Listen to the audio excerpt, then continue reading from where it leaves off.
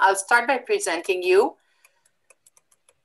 Um, okay, so we're very pleased to have Professor Udi Zohary today with us in our seminar. Udi did his BA in biology and physics at the Hebrew University and then a PhD under the supervision of Shaul Hochstein at the Hebrew University. He then did a postdoc with Bill Newsome and Mike Shadlen at Stanford University, investigating how visual cortical electrophysiological responses are coded and related to perceptual sensitivity. He then returned to the Hebrew University to open up his new lab. He works on vision starting from electrophysiology in the past, and to the best of my knowledge, he then moved to work with human fMRI, investigating both perception and also looking into action related mechanisms through novel research directions developed in his lab. He already then started to investigate visually impaired individuals with exciting research and revelations about the role that visual cortex plays in blind individuals and how vision and additional senses, senses as tactile and auditory inputs activate the visual system and interact even in your typical development. Many students he supervised have now opened their uh, own successful research labs in Israel. In recent years, he has taken a new direction, looking into vision restoration following congenital blindness and investigating how vision develops after skipping or missing the critical period developmental period. This is done in a project in Ethiopia in collaboration with Professor Shimon Ullman, Professor Uri Polat, and Professor Mark Ernst. He published many papers in top leading journals, including Nature, Nature Neuroscience, and many others. He leads the Swiss Friends Vision Laboratory, linking um, perception, memory, and action. And today we're delighted to have the opportunity to hear about your research, Udi. So welcome to our seminar. Thank you so much. And uh, let's start then. Okay, so I'll uh, be talking today about uh, on the acquisition of vision functions following early onset and prolonged visual deprivation. And uh, this work has been done with many collaborators that I will mention as we go. And it's been uh, funded by the Israel Science Foundation and uh, lately by the DFG, the German Israeli uh, Foundation. And I, I want to start, start with uh, discussing the essence of human vision from the uh, point of view of learning. So this, this is courtesy of Shimon Ullman, and uh, one when thinks one thinks about uh, vision, one uh, should start with what's happening with the retinal image. So you can think about uh, the retinal image as being composed of an array, a two-dimensional uh, array of light intensities uh, in different positions uh, in the visual scene, which are then transformed through uh, processes taking in the brain, starting in the eye and taking the brain into uh, uh, a picture which we uh, understand, okay, and leading to perception and scene understanding. And if you haven't heard the Shimon's talk or my talk previously, you probably have not seen this image uh, in your life. And this is from uh, uh, the tsunami, I think, in, in the Philippines or wherever and you immediately understand what's happening, although you've never ever seen uh, a similar image in your life, uh, definitely not an experienced one. And so amazingly, uh, this is learned in our uh, infancy and childhood internally without supervision. Okay, so this is a, a, a major uh, uh, process done by the visual system to, to learn to interpret these uh, levels of activation in the retina and, and translate them into a, a, a percept which can be applied to any image shown, even if it's a completely novel one. And the way to think about this is that uh, we as children are exposed to these videos uh, that are basically uh, levels of uh, luminance in different positions in the scene, and they are interpreted as uh, the scene, and they are uh, learned without world knowledge. You, as an infant and a young kid, you just get input in terms of uh, watching many, many of these movies shown here, and you develop representations of uh, various concepts. Now, how is this achieved? So vision, of course, is achieved by uh, multiple course of both measurement and inference. And when we talk about measurement, the first thing that, you know, typically uh, uh, doctors, eye doctors, uh, and uh, people who are interested in low-level vision would study would be uh, spatial acuity. So they would basically test your ability to tell these gratings at different spatial frequencies. And here's the data from Lynne Kiorpes and others who have measured this, uh, the contrast sensitivity as a function of the spatial frequency in monkeys and humans. And I'm sure uh, most of you have been exposed to this. So basically you can see that uh, with, uh, basically with time, within uh, weeks, uh, 49 weeks in monkeys and 48 months, four years in humans, one reaches the, the adult level of uh, contrast sensitivity, meaning that what you see that these, uh, um, these curves shift to the right, so you're able to see higher and higher frequencies, and they also are contrast sensitivity uh, grows. That means that you need lower contrast to detect that there's uh, uh, a grating in the image. And you can sort of understand this if you look at that image and you can sort of uh, show that this is equivalent to initially you see the image at very low uh, uh, contrast and with uh, time you, you, you uh, it's blurred and with time you get a better, better, better and better appreciation of the uh, image and the details that it contains. And uh, so you can look at the contrast, sorry, you can look at the, sorry, at the contrast sensitivity uh, as a function of time here and uh, convert this to uh, spatial resolution, and you see that the spatial resolution in terms of cycles per degree increases with time, uh, both in humans and in monkeys, not in the same um, uh, time frame, but to a similar level. And this is equivalent to the Snellen equivalent that uh, people typically the people in, uh, are measuring when you come to the uh, to do your eye test. Uh, reaching 2020 at about, uh, as I said, uh, within five years or so.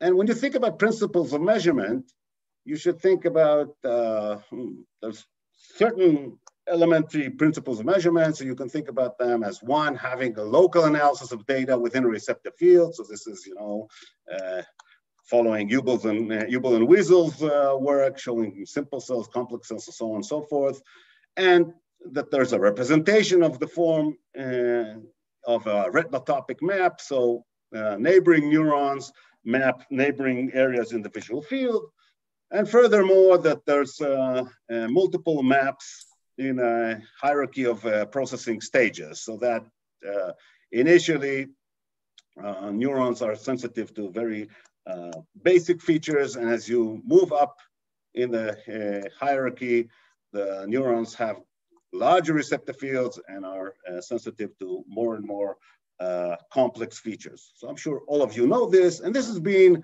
basically uh, the cornerstone of building convolutional models of object recognition, which are now being used wildly in computer vision, uh, and I don't need to get into this, but the only thing I want to mention here is that this is a, conv a convolutional uh, model which is based on supervised learning.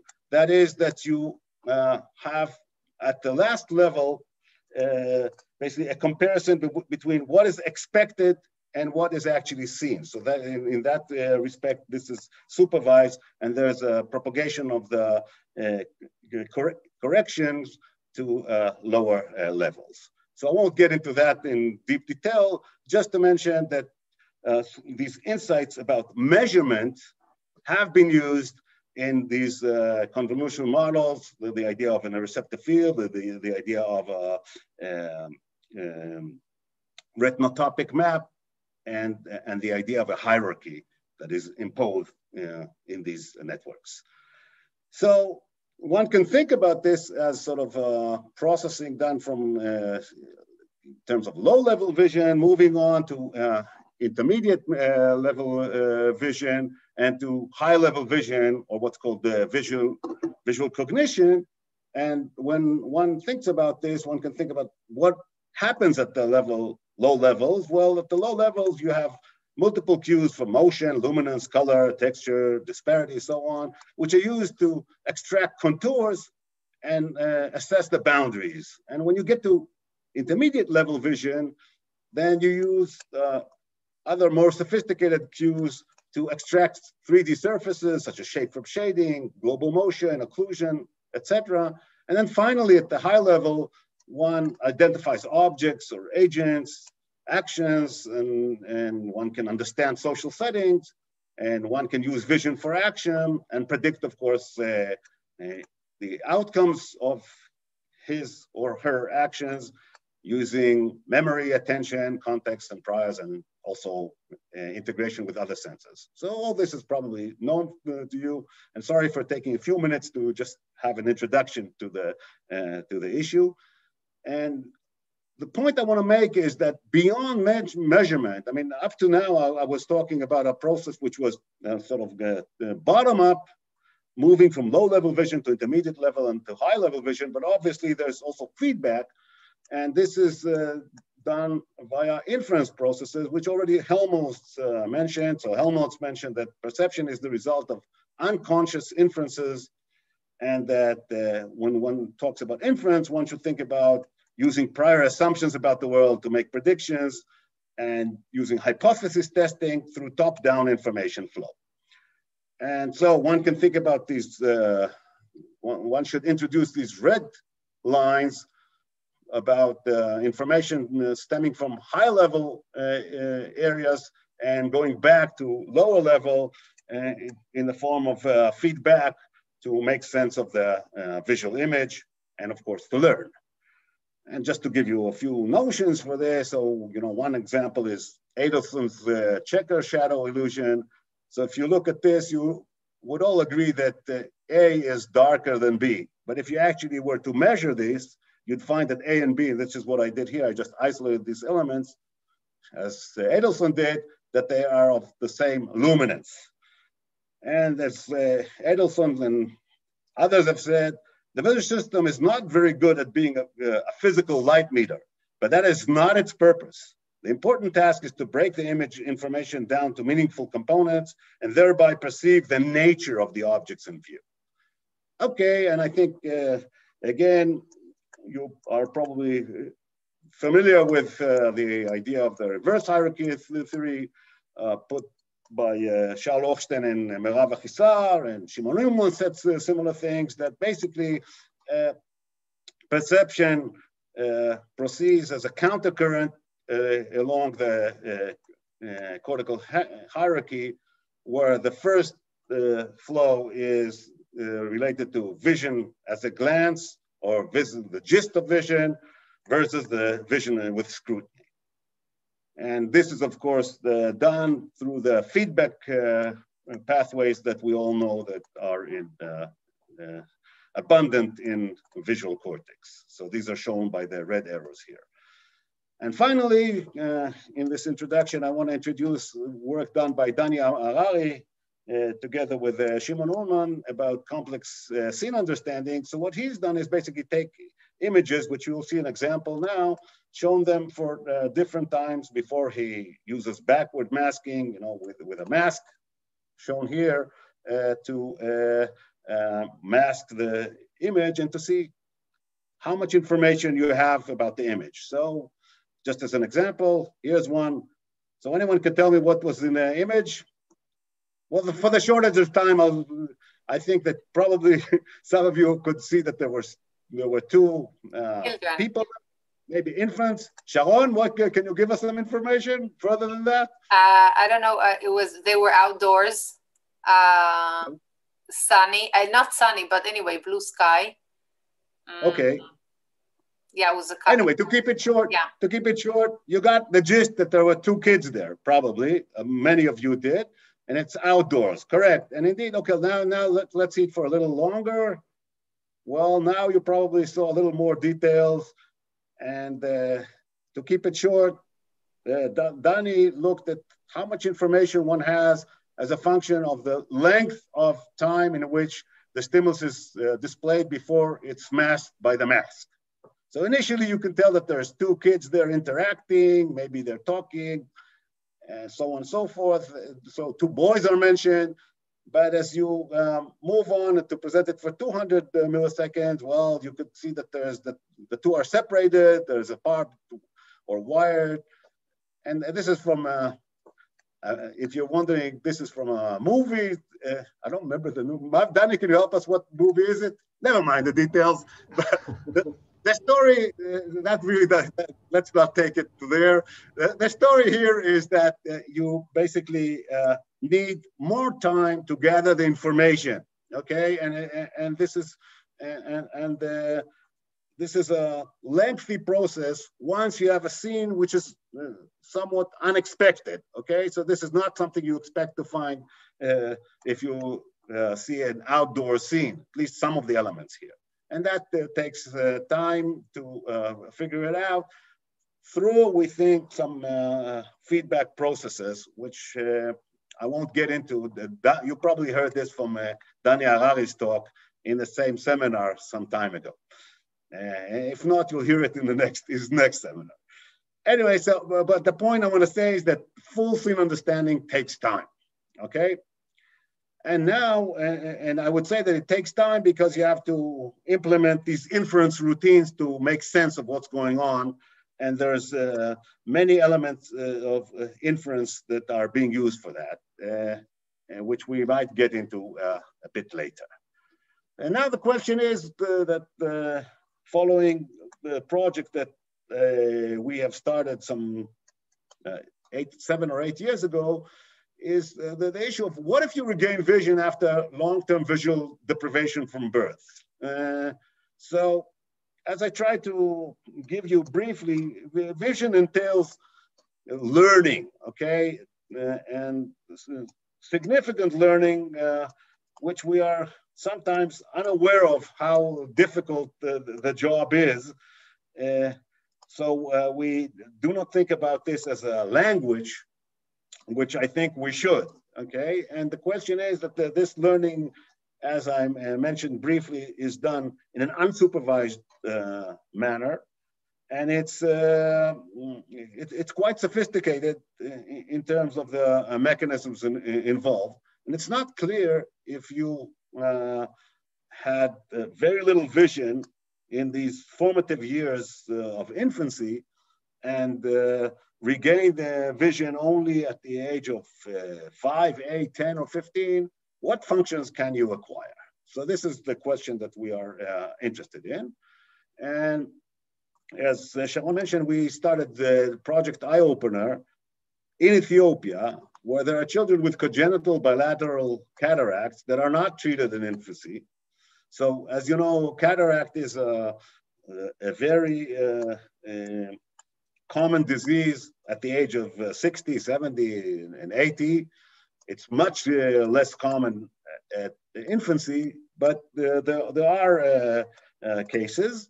And in Israel and in the West in general, it can be easily diagnosed at birth, and it's treated within three to six months uh, after uh, birth. But in Ethiopia, there's these kids who are uh, born with uh, congenital cataracts, and they're not treated. They're not surgically treated. So if it's not treated, it uh, results in uh, blindness, almost complete blindness, except sensitivity to light. There may be uh, different gradations of this depending on the, uh, the individual. But generally, uh, these uh, kids are very limited in terms of their uh, vision. So our group finds these uh, children and performs a simple cataract removal operation. And this is done by Itan, Itai Ben Zion, our leading pediatric ophthalmologist. And Following this, and even before uh, treatment, we test their vision developing uh, uh, after surgical treatment. So just to uh, remind you, what is cataract? Well, cataract is an opacity of the lens causing light scattering and image blur.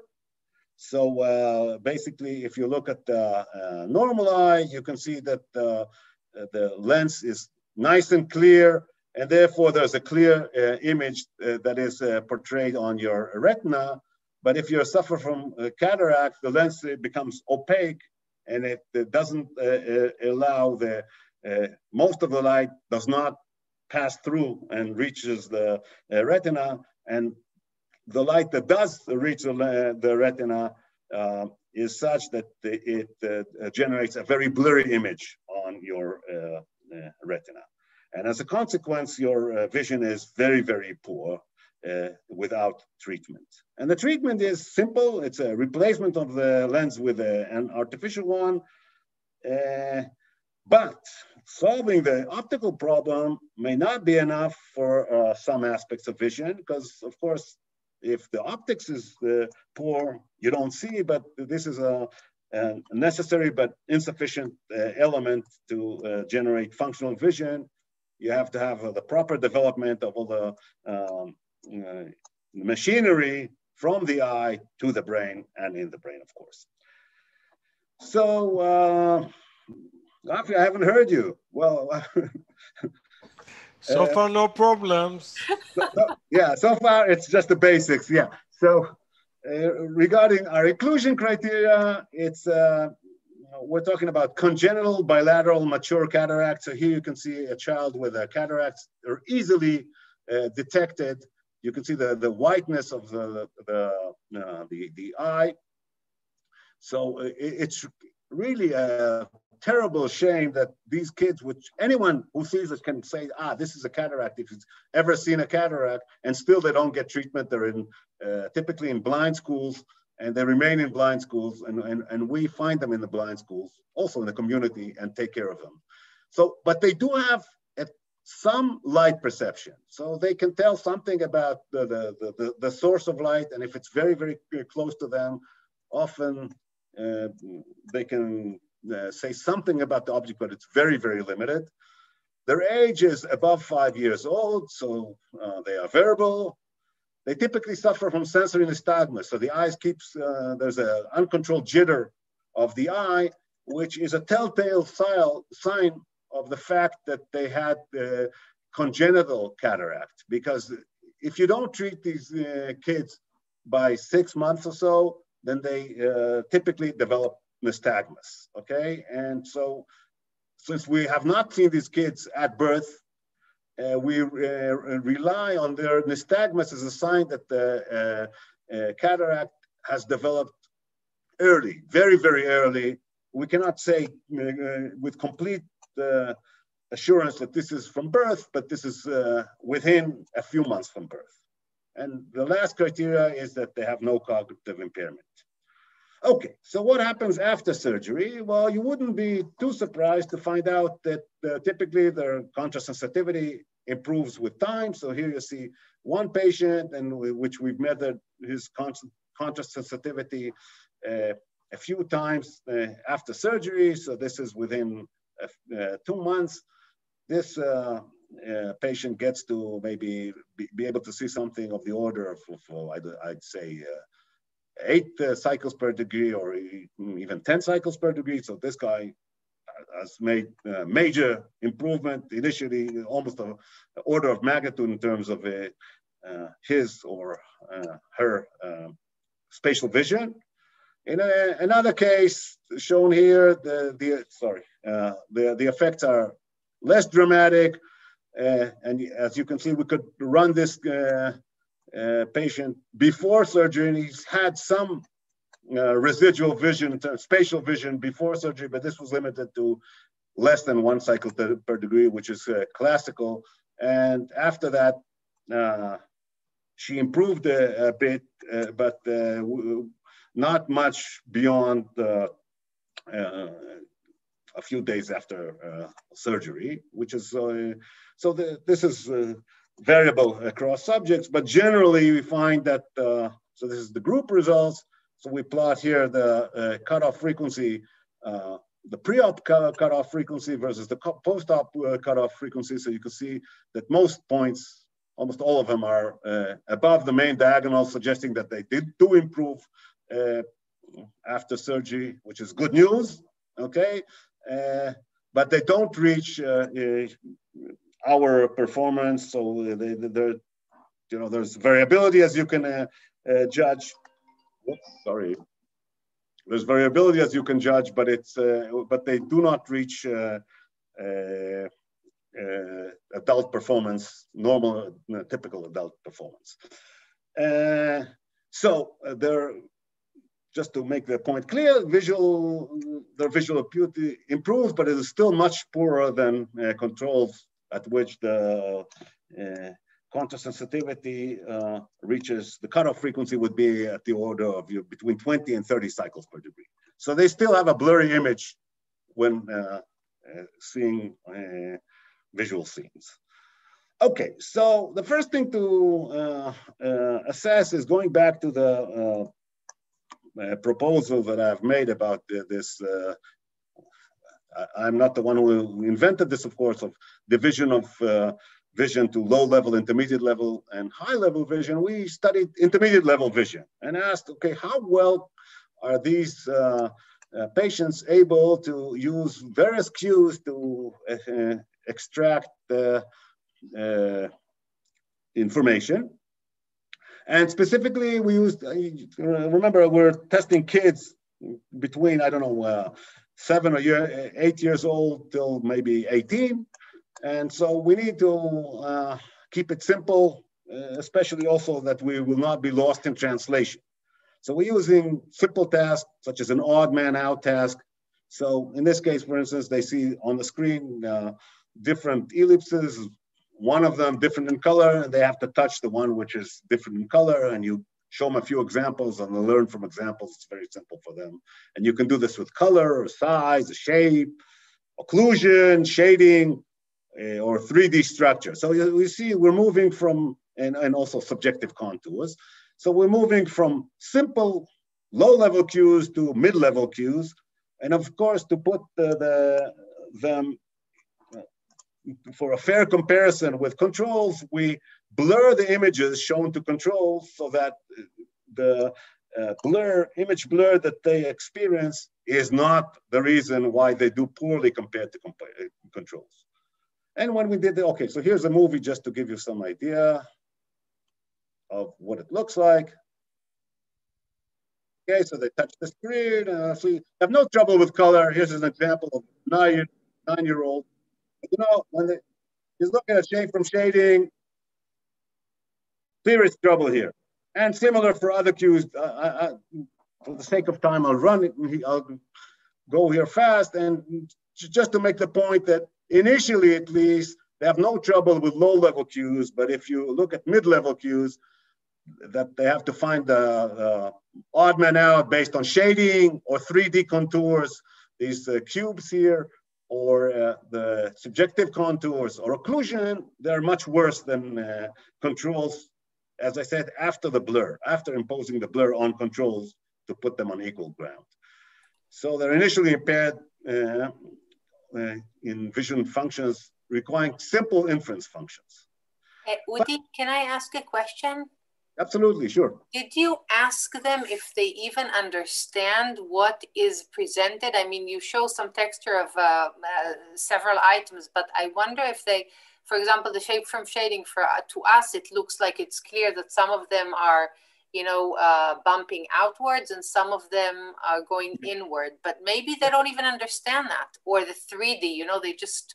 Uh, so, so the, uh, good, good point, uh, Shalom. The first thing we want to make sure is that they understand what the task is about. Okay, so the task is an odd man out, and it's throughout all the, tests. Okay, so it's helpful to see that with color they have no problem. So understanding that you have to find the odd person is not the issue here it's rather the, the ability to tell shape from shading. Now, again, there's some uh, details here which I'm skipping, but but generally you see that they're, they're initially impaired in these simple inference uh, functions. Well, interestingly, when we tested them a year or two years later, you find that they actually improve in the, in the, the test. So shape from shading is no longer a problem if you test them wow. later. And also uh, occlusion, this is not published yet. So, but, but that is the case now as we sort of uh, test them longitudinally with time. Interestingly enough, to tell a shape from uh, the, the 3D shape uh, in these tubes, they, they, they still have a problem. So it's not that they improve in all tasks, but they seem to be improving in, in many of these tasks. And also, Udi, Udi, a question. Yes. Uh, this shape from shading, it's not really shape from shading. You could solve it just by looking, just by so, sort of looking at the dipole of uh, white and, and black. It's uh, absolutely, Rafi. How how right you are, Rafi. So the one thing that we found is uh, if you look at the details of the paper, is you're right, you could do this based on, on the, these dipoles, but the question was, if you move from only five distractors or six uh, elements to 12 elements, if you do this, you, you go serially through the elements, okay? Well, you and I typically show parallel processing of these elements. So we, indeed, we saw that some of the uh, patients were able to do this, but they did this in a serial fashion, okay? So they may have uh, found a way, which is always an issue. Can you find a way, sort of a, a detour to solve the problem that, uh, without the, the, the, doing the using the strategy which we thought they were using? So we were very uh, aware of this, and we took uh, care of this. And I won't get into the details, but you're absolutely right. The, the point is that with time they get better in the, these tasks. As I said, not with all tasks not only that, but also with uh, when using sort of illusory contours, you can see here, that's the data, uh, which you can see the proportion of correct answers as a function of the uh, what's called the support ratio. So when the support ratio is smaller, it's the task is more difficult than telling that this is sort of an odd man out, that this is a square here in the presence of, uh, of triangles. So you would agree with me that this is a more difficult than here. And also with control, you see some that the, the uh, responses are not quite uh, perfect as the support ratio becomes smaller. But with the patients, initially they're at the level, almost the chance level, but with time and uh, with repeated uh, testing, a year or two years later, you, you can see that they also show improvement, not quite reaching the level of controls, but maybe they would reach the level of controls. So to summarize here, we find that at least some uh, inference re related to shape which are based on spatial uh, elements, is uh, can be accomplished with uh, learning uh, through time. Although one must say that the way to check this is to show that they generalize to other uh, images. So we had hoped to do this in our next uh, trip, but we are stuck here since things are not quite as good as they are here in Ethiopia nowadays. Anyway, the next move that we did is to move on to uh, temporal integration of uh, visual objects. And this is a study that has been done by uh, Tanya Orlov and uh, uh, Mayan. Tanya did most of the analysis. And the question here was to move on from mid-level vision to higher level vision, requiring integration of information. So basically one needs to, we were thinking of using a task which requires reconstructing object shape when seen through a, a slit. So the idea is very simple. You see an object moving through a slit and you have to say, okay, is this a cross or a sword? And I believe that uh, most of you uh, could tell that this was a, um, a sword this time, not a cross or, uh, um, and you, you, can of course make it more difficult reducing the slit. So the idea is that you uh, take an object which is composed of uh, these uh, ellipsoid elements. So the idea here is that you have to uh, uh, impose uh, temporal integration in order to uh, uh, derive what was the shape. And the way we do this is uh, by, let me just have the pointer, is by passing this, as I said, the, the cross or the upverted cross in either directions of motion either up or down, and uh, you have to de decide what was the, the, object, either what was the object uh, or what was the direction of motion. Okay, and for the controls, the way we do this is we blur the stimuli. This is, we do this throughout all experiments. We blur the stimuli to make sure that the controls, that the uh, patients don't do worse than controls simply because they have a blurry uh, vision uh, due to amblyopia, which remains even after the optical correction.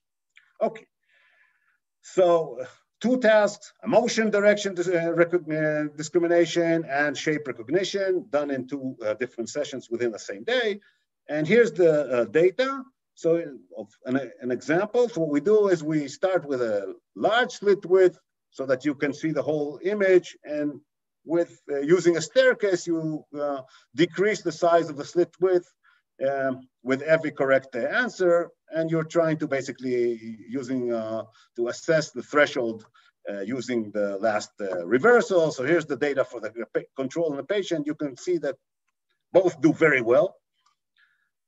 But when you uh, look at the uh, same, uh, the data for the same um, subjects, control and patient, when one had to judge which shape was this, you find that the control is uh, doing much, much better, meaning that its threshold is much smaller in terms of the slit width that uh, it can do at 71% uh, correct is only 7% of the total uh, object, while for the patient, this is 44%. Well, never mind, the, the actual percentages are not that interesting besides one point and that is what we call the integration threshold. And the integration threshold is your ability to uh, uh, tell if it's an upright uh, uh cross or uh, what I call a thought based on local features. And what would be the local feature? If you're able to see the, the, the, the end of the cross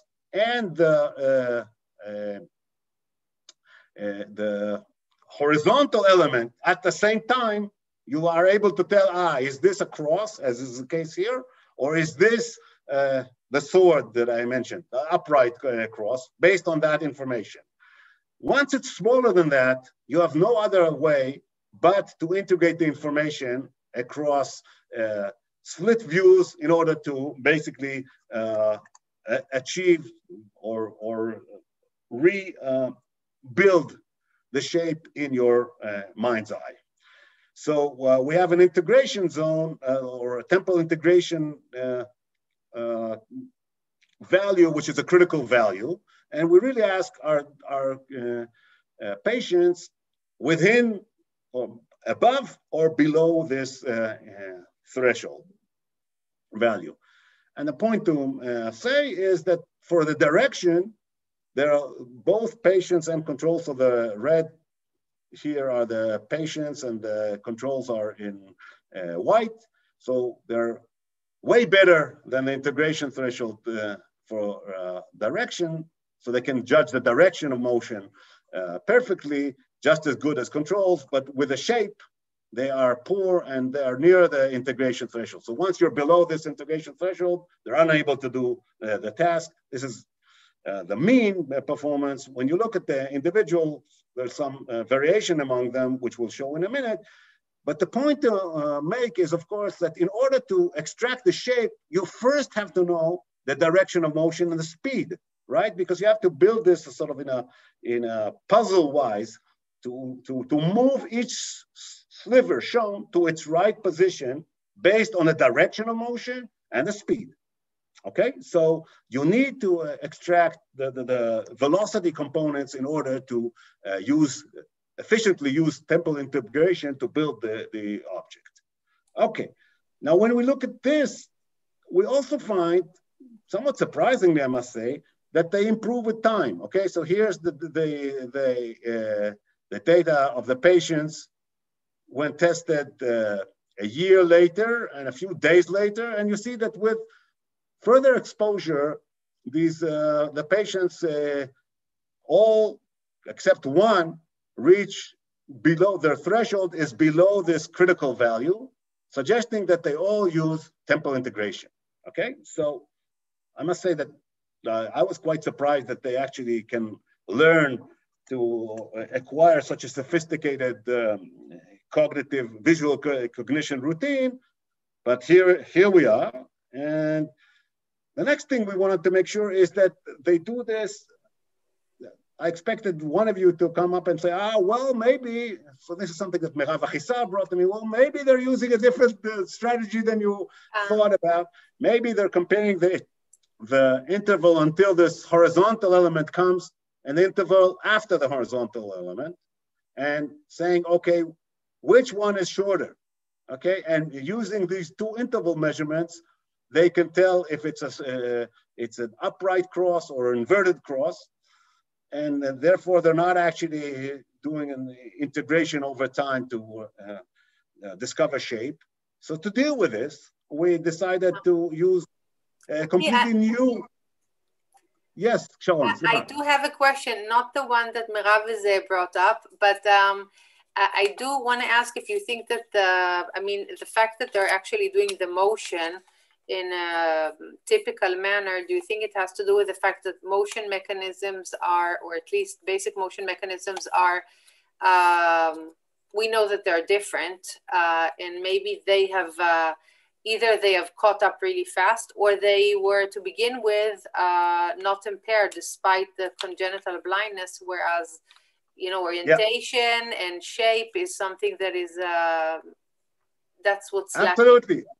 Absolutely sharon i was planning to get there in oh, the end sorry. but you're no no you're absolutely right yes i think that one uh, must understand that for you know uh, first of all motion does not depend crucially depend on on high spatial frequencies okay and as i said yeah. even before surgery they have very rudimentary vision, but they can, if you're using a light source and moving the light source uh, in front of their eyes, they are able to tell you that uh, it's moving left or right. So they have some rudimentary, rudimentary uh, uh motion even before surgery. Okay. Okay. So getting, okay. So get, getting back into this issue of, of uh, shape temporal integration, well, you want to make sure that they can generalize to uh, new images and since I'm running out of time, I'll just say that they are able to uh, generalize, although not all of them.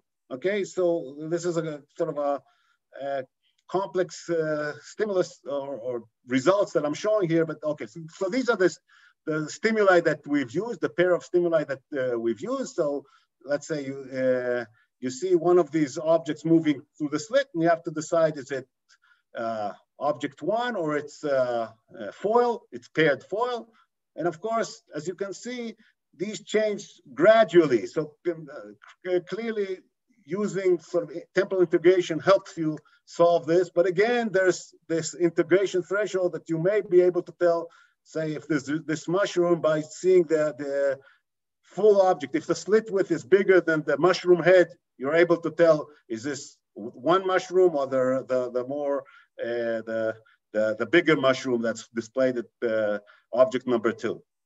And basically, if you, without going into the full details, uh, some of the kids are able to generalize to this, although not all of them. And the reason that we think that, well, maybe for instance, they've uh, learned a specific task with a specific stimuli, but uh, also maybe this is a, just a, a, a, more difficult task because it's variation. You can't keep in your uh, long-term memory a specific uh, shape to which you compare, but these are novel images that you use.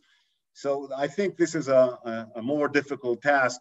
And this is the, re uh, the reason why not all of them are able to actually generalize to this uh, task, but, but uh, uh quite a few of them do. And these are the ones which are, plotted here uh, at the uh, well, let's not go, get into the details. Believe me here, if you want, we'll, we'll discuss this uh, later because I want to get to the final point that I want to make.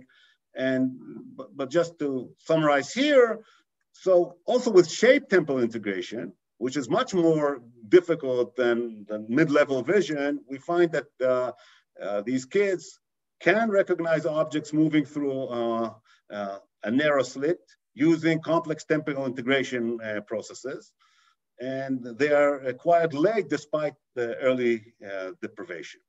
And the last uh, function that I uh, wanted to, to, share with you and to uh, uh, hear what you think about is understanding gaze and shared attention. And the reason we chose this is, okay, this task is interesting both from a computational and from a cognitive point of view. So I'll start with a cognitive point of view.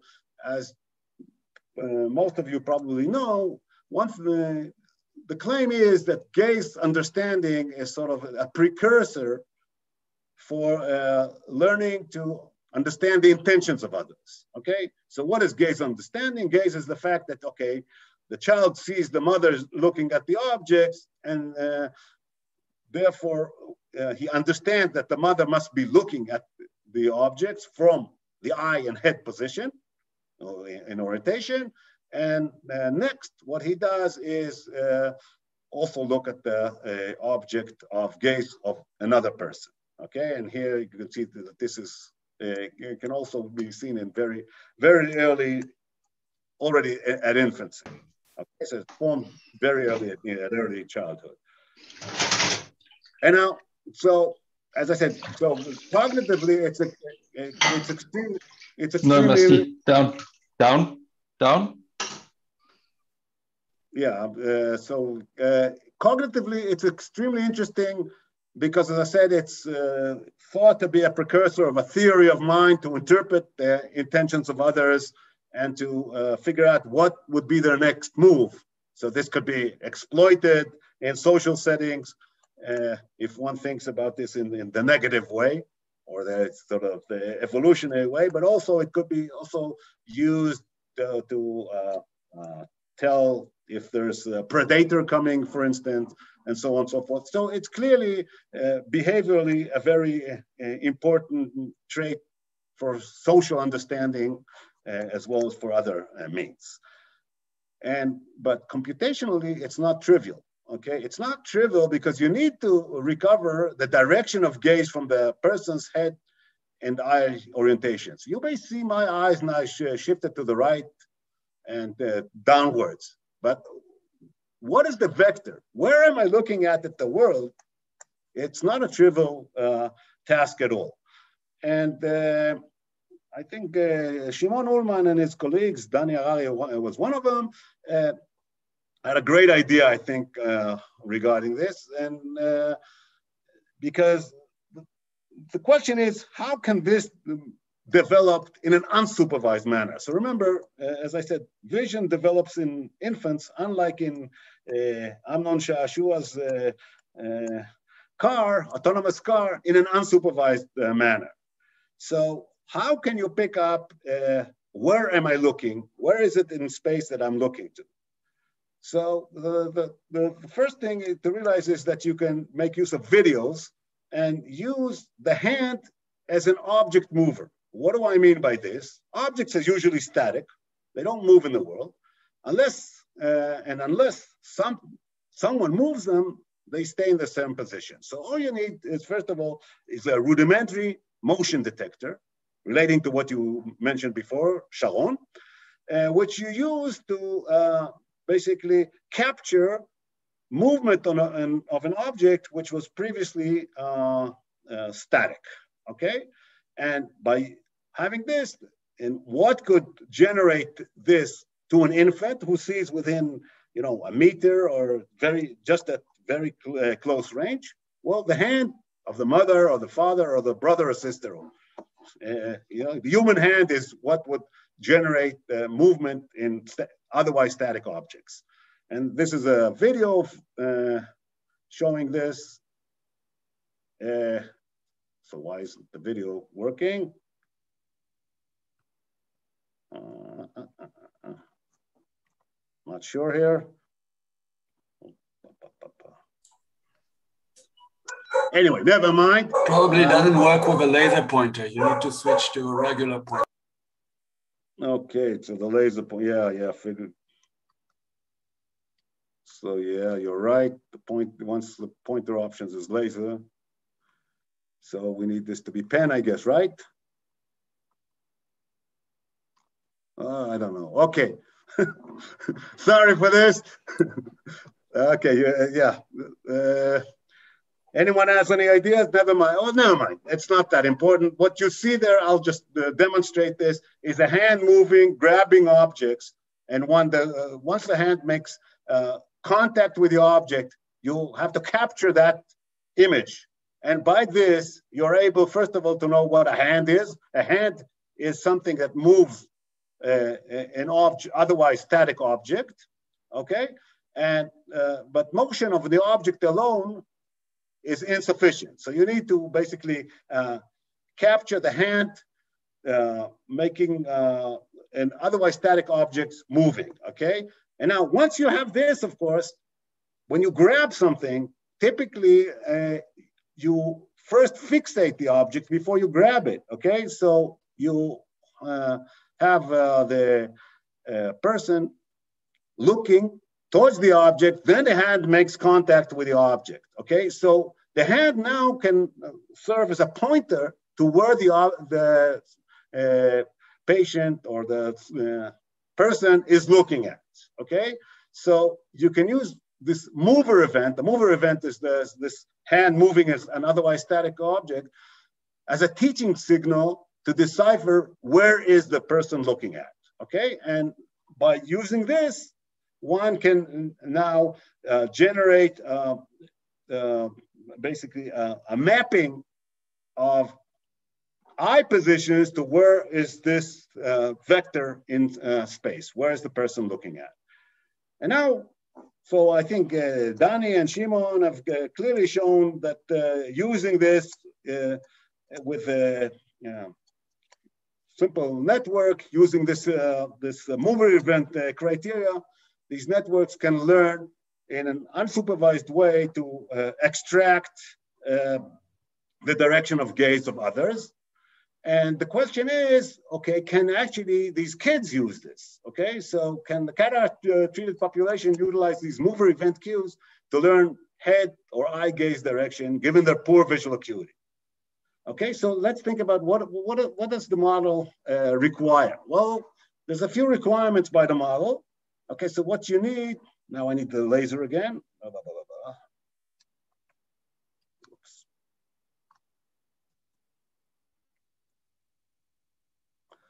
So what you need is first of all, to, to perceive the head orientation, okay? Then now I'm talking about requirement to uh, understand gaze based on head, head information. So you need to perceive the head orientation. You need to attend to the uh, actor's face in order to perceive this, okay? Because if you don't attend to it, you will never know uh, what is the direction, the heading of the head or the head orientation. And of course, you need to detect the mover event. So here's a hand uh, now grasping the, the cup. You want to capture uh, the hand grasping the cup. And at the same time, pay attention to where was the head pointing to. Okay. And using this, these the three elements, you can extract head gaze direction in space and have head gaze following follow the gaze of others using this information. Now, what if you have a blurry vision as these kids uh, experience prior and after uh, surgery? Well, prior to surgery, their cutoff frequency would be of the order of one cycle per degree or something of that order. Uh, after that, they have a, a better uh, uh, uh, spatial vision, but as I said, it's not perfect.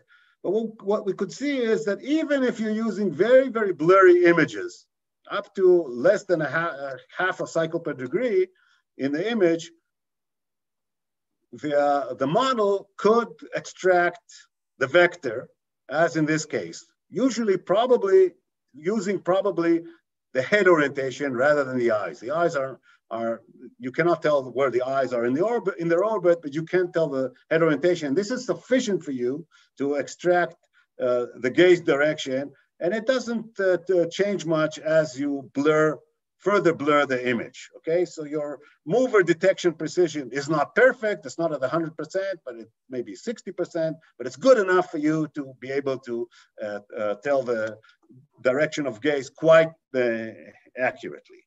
Okay, so uh, one is able to uh, uh, extract gaze direction based on head information, even in severe blur conditions, which are existent even prior to surgery. Okay, so regarding the model, okay, head orientation can be, uh, uh, head orientation following can be uh, learned prior to surgery, at least from the, the, the model, uh, based on the information available uh, to these uh, patients prior to surgery. I said they have severe blur, but even under severe blur, you can detect these mover events. Okay, so this is available prior to surgery. However, eye gaze following, okay, so telling where am I looking to based on my eye direction or taking into account the eye's direction is not available prior to surgery due to their uh, uh, blur conditions. And the next thing we ask is there sufficient uh, visual acuity for surgery to tell the eye's position in their orbit, okay, after surgery. So before the surgery, their, their visual precision is too poor for telling the eyes, but we checked behaviorally and they are able to tell if the eyes are left or right of center. Okay, so tell the eye position in their orbit uh, after surgery. To remind you, this is a, a, a necessary condition, but not a sufficient condition uh, to tell uh, gaze direction. If you can't tell the eye position, of course you cannot tell gaze direction, but to tell gaze direction, you have to convert this eye position into a position in space out, out, out there in the world using this vector that we mentioned before. So the next thing we wanted to check was whether computationally you can actually tell the eye's position in their orbit given the amount of blur that uh, you experience after surgery. So this is what Dani did basically. Uh, if I'm running out of time, maybe I'll uh, cut here some of the details, but just to tell you that we used, uh, uh, Dani used a network, ResNet 50, which is based, it's a network to identify faces. And now uh, he was uh, testing how well can this network train to identify faces actually use information from the intermediate levels, not from the output but from the intermediate levels output to detect or to tell the head uh, uh, orientation is, uh, sorry, the eye orientation, is it left or right? And uh, just to make the point, this is unsupervised learning. Okay, you don't actually train the, the network to uh, tell the eye uh, position, or rather you train it to identify faces. And the short story of it is that prior to surgery, if you take this network and you apply this, the blur that these kids experience prior to surgery, they cannot tell eye position. They can tell head orientation, but they cannot tell uh, eye position. If you do this sort of uh, uh, replicating the conditions after surgery. So remember, after surgery, they experience much less blur than, than prior to surgery, but it's still a blurry image that they uh, perceive compared to us, okay? And if you do this, uh, if you uh, basically replicate the regime after surgery, you get, uh, this is the second regime we use, and the third regime was just the control, okay? Without any blur whatsoever. And basically, to cut the story short, we uh, showed that uh, prior to surgery, there's enough information to tell head orientation by this network, okay? But there's not enough information to tell the eye, uh, the eye condition, okay? And uh, uh the, so, uh,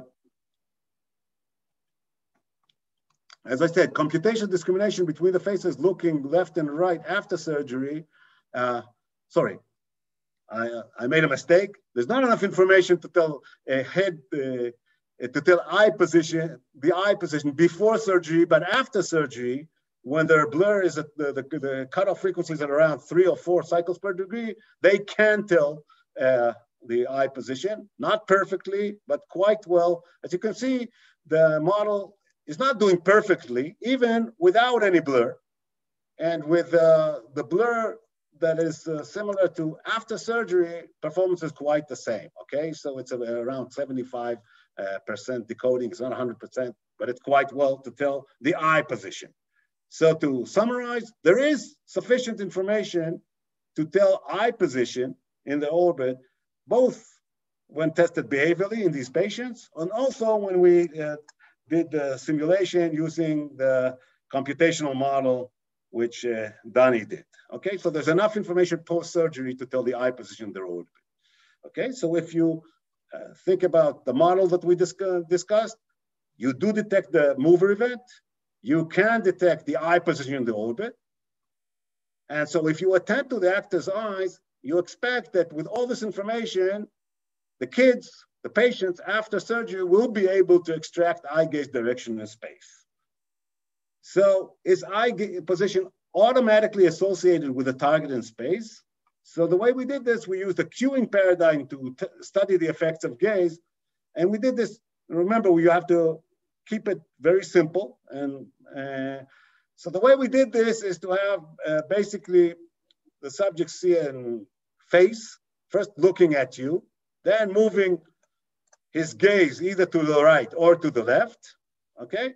And then a target would show up, which was the balloon in this case, and the uh, kid's task was to touch the balloon as fast as possible. Of course, if the gaze, the gaze serves as a cue, just like the Posner task, and if you detect the gaze and you decipher what the gaze is, you touch the object when it appears in the direction of the, the, uh, the observed gaze faster than if it's incompatible with the previously previous cue about the observed gaze. And you could do this with eye gaze direction, and you can do this also with head direction cue. So here, what you change is the head direction without being able to see the eyes. And in this case, the uh, head is direction is compatible with the balloon in the right and incompatible if the balloon is in the left. So hopefully this is clear to everyone. The sort of basic uh, Posner cue, cueing, in this case using gaze direction, either eye or head gaze to uh, look at this. And this is, I'll skip this. We, we did this with a patient. This is just a movie to uh, demonstrate this just to make the point, we did this both with uh, early treated and late treated uh, uh, population.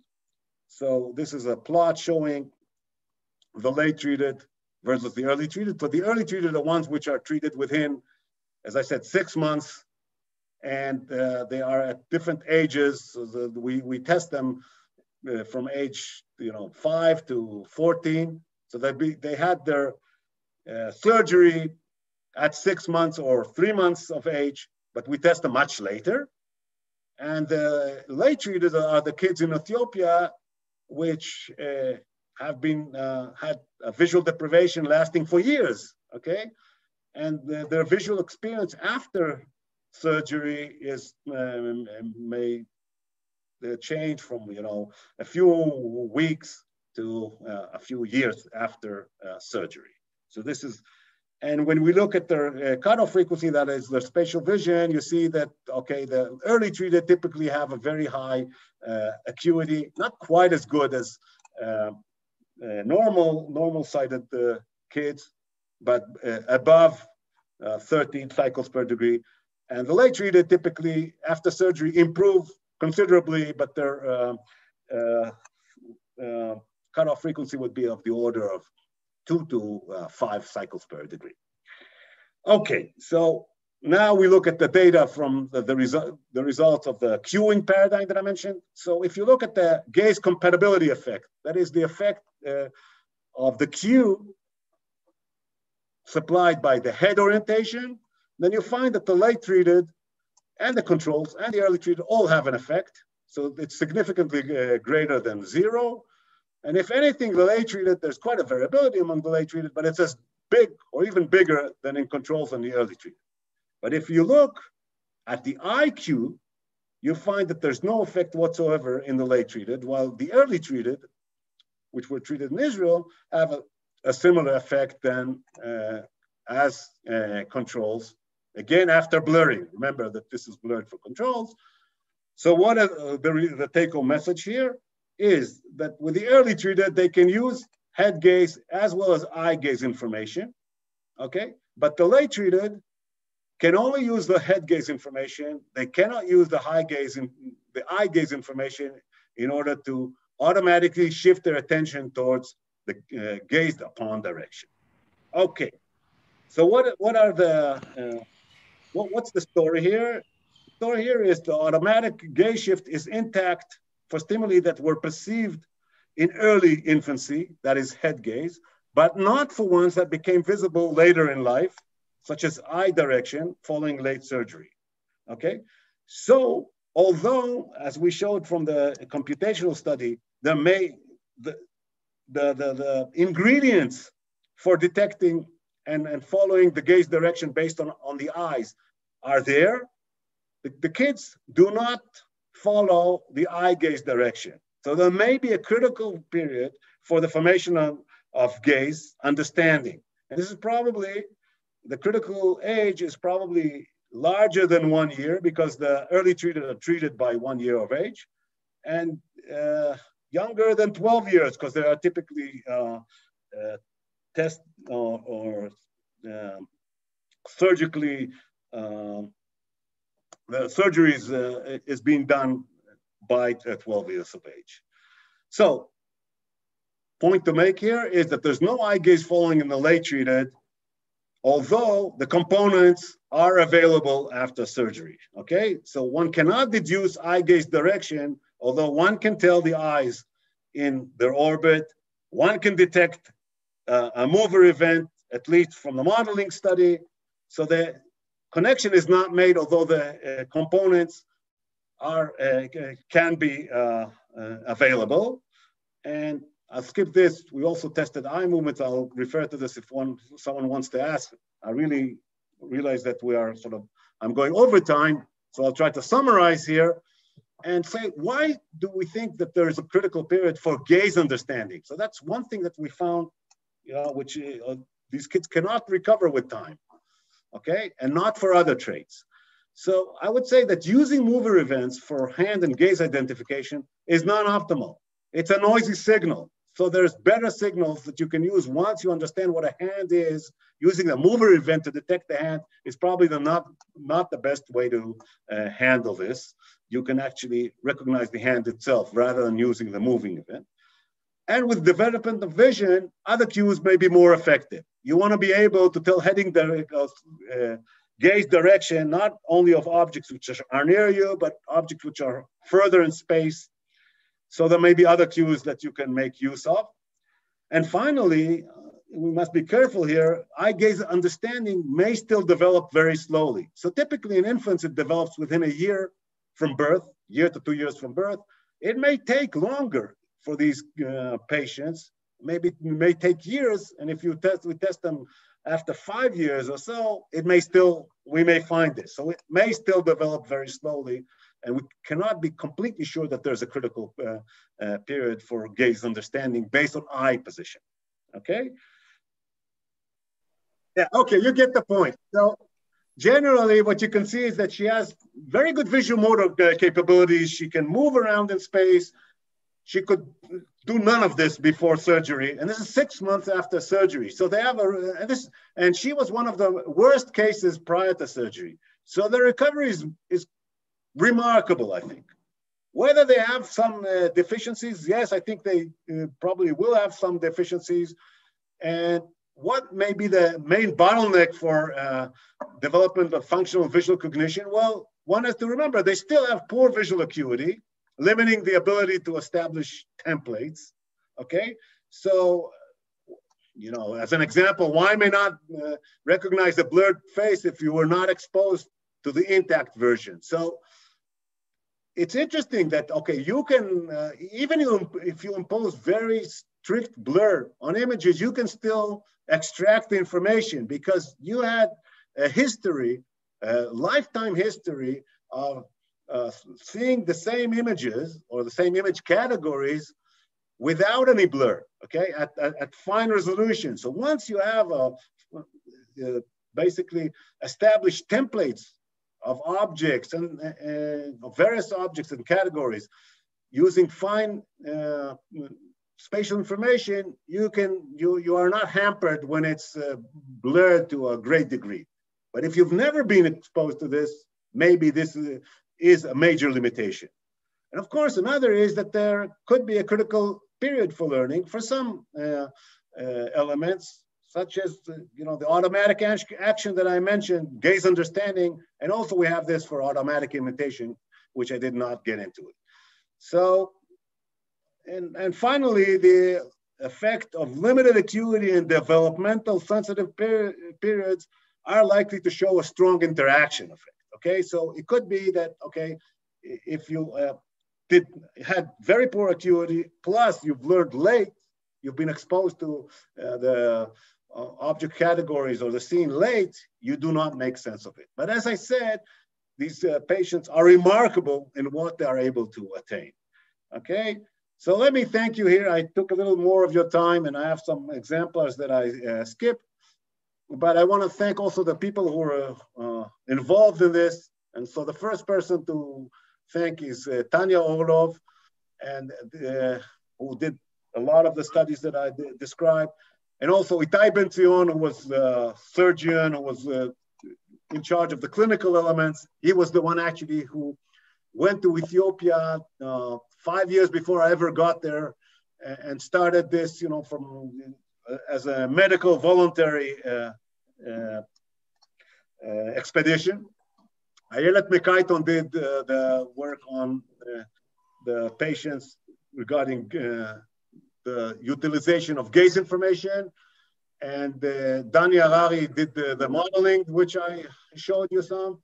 And Shimon Ullman and Uri Polat are my Israeli uh, uh colleagues in this uh, uh, major research in Ethiopia. And of course, the students, many of the students mentioned here, and our patients, both in Israel and in Ethiopia. And finally, the funding agency, the ISF and the, the DEEP program. Thank you very much. So sorry for taking a bit uh, over time, but if we have some questions, that's probably the time for this. So thank you again. Thank you very much, Udi. And I want to invite everybody to uh, unmute yourself and uh, give uh, Udi a, a big uh, applaud for very insightful and uh, vision for society. Uh, yeah, very, very nice results. Interesting. And I'm opening the stage for questions if anybody uh, wants to ask, of course. Um, uh, I, I, I, have a question uh, about this very interesting uh, automatic gaze experiment. Did you try to train them in other words to carefully reward them when they do correctly and so forth and see if they can improve? Yeah. Oh, well, okay. So I mentioned Uri, okay, that the first thing that we have in this, uh, or not the first thing, but one major component of this uh, research project is to try to design some ways to train these uh, kids using sort of perceptual learning uh, tasks in order to improve them, uh, their, their capabilities. So, Rafi, yes, we tried something. It's rather rudimentary. Basically, we, the idea was to sort of uh, give some reward to uh, detection of these uh, mover events and to try to i won't get into the details but we tried this not enough and and so it may be as i said it may be that with uh, further time or exposure they actually are able to uh, to to extract gaze direction eye gaze direction however they do not acquire this spontaneously, unlike infants. Okay, so infant, you don't need to train the infants; they acquire this spontaneously within, as I said, a year to two years from birth. So that they're different in that. Whether this is something that you can see in, in 10 years is, is something I, I, am not sure. And training may help. It didn't help when we tried this, but we didn't do this uh, in a in a rigorous way, simply because we're not there. It's hard to and, and the question is, what should you train them on? Okay. I would say that the first thing to train him would be to, uh, to, to, read the alphabet, okay? Because they're in blind schools. You know, it, it, it's ridiculous. These kids are operated, and since they're in, you know, the best education they can get are in blind schools. So now moving them to a normal school is a major issue. The families don't want that. Okay, so they're they're stuck in blind schools, and there may be 3% of the kids there, so they all learn Braille, okay? So just we're trying to introduce a low vision class where we'll teach them to read. I think that would, if you ask me, what would be the first priority that I think it's actually to, to teach them to read. Okay, so and, and this is a major thing that we are. It's difficult, especially now in conditions in Ethiopia, to try to to to set this up. But yes, you are absolutely right that that would be very important. I think. Thank you. Uh, Udi, I, I, want to add a comment here that uh, we, we actually discussed uh, some ways, uh, possible ways of rehabilitation, and maybe uh, specifically with these automatic uh, tasks, it may be interesting to kind of um, try some self rehabilitation. So if we provide them with with uh, with enough uh, um, uh, examples or maybe kind of self-guidance that they can use similar to the, the computational model that we uh, that we suggested, it may be possible that they will be able to learn it uh, on their own, uh, unlike reading, etc. So we, we may have some advantage here since these are automatic tasks for, for uh, normal people. Yeah, Dani, I, just want to I just want to make the point clear that I think it's amazing what they do achieve spontaneously. Okay, this is way beyond anything I had expected. Okay, and so of course they, they still have a, a blurry vision, as I said, but as you saw from the you know just the the, the video I showed uh, just a minute ago, they're amazing. Some of them can play uh, with a ball. Okay, they, they, they, they, they play in the courtyard there with, with a ball. As I said, also the, the degree of image blur that they experience is variable, as you could see.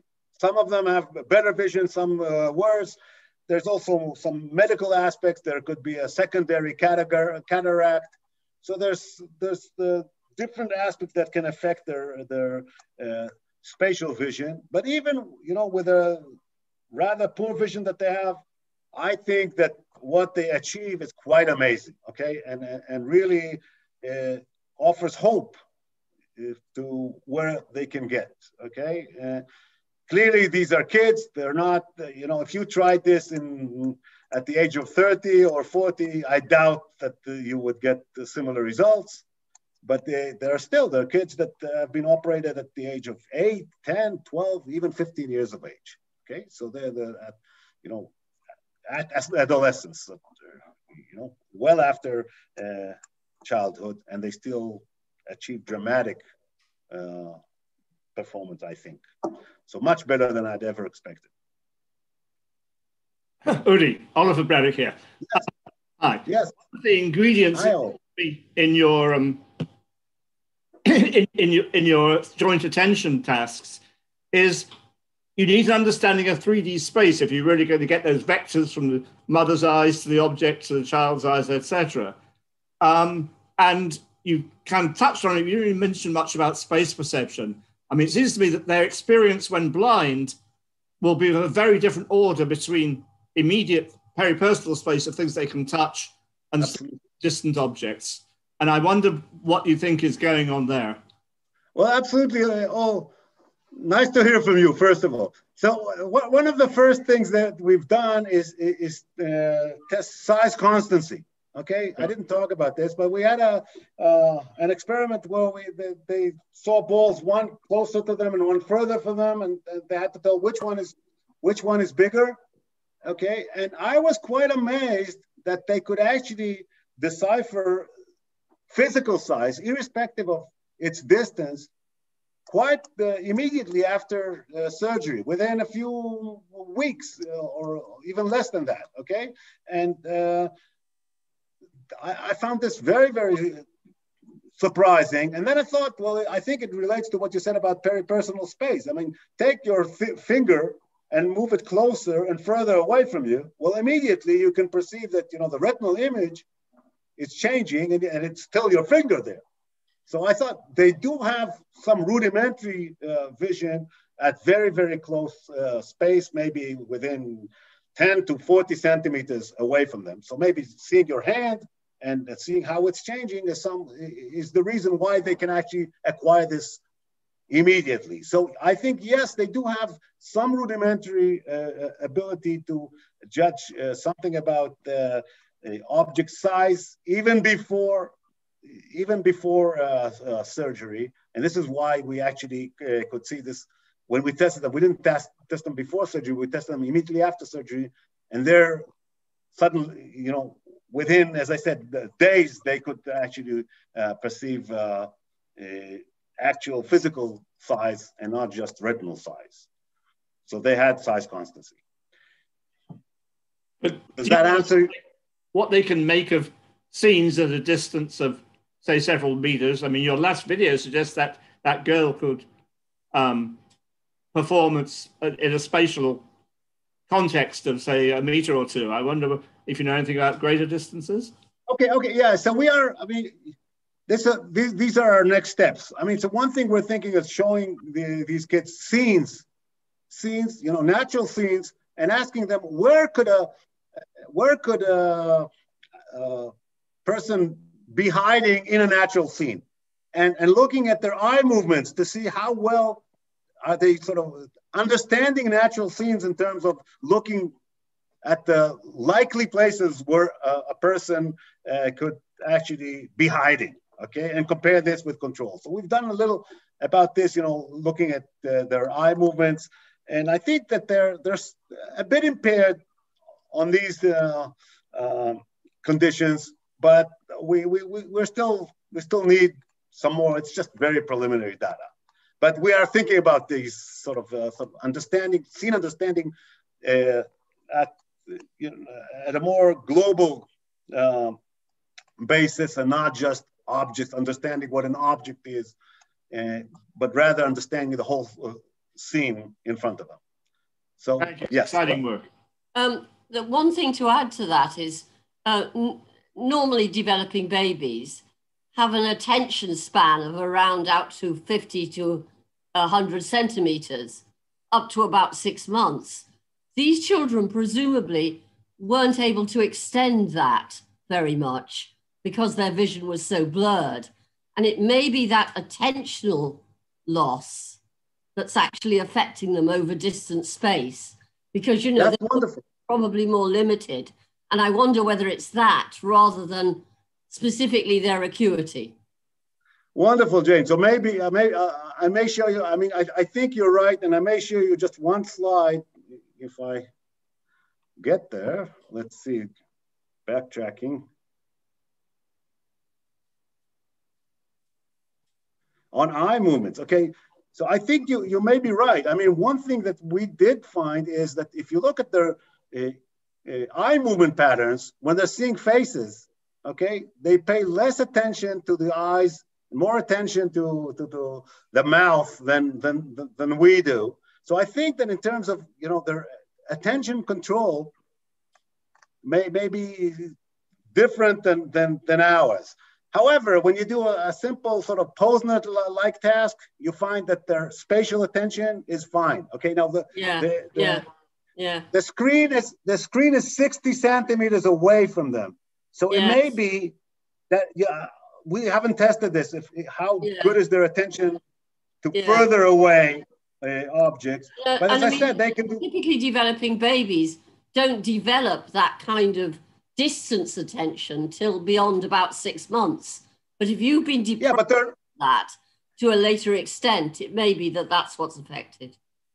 Yeah, but they're, they're, they're, remember that they're not sort of. Um, I don't think that one should compare them to uh, babies who had arrested development till the age of 10 or 12 years old no, because no. they they, they, yeah, they they don't have arrested development in the cognitive no, sense. No. And so presumably, no. So, so, presumably, attention can, you know, at least as I said, spatial attention can can, can be learned from other means as well. And as yes, we said, yes, I haven't shown yes. you this, but spatial attention is fine. Yes, the, I agree the, with you. It's fine in terms of. Uh, nice talk. Thank you. Yeah. Yeah. Thank you so much.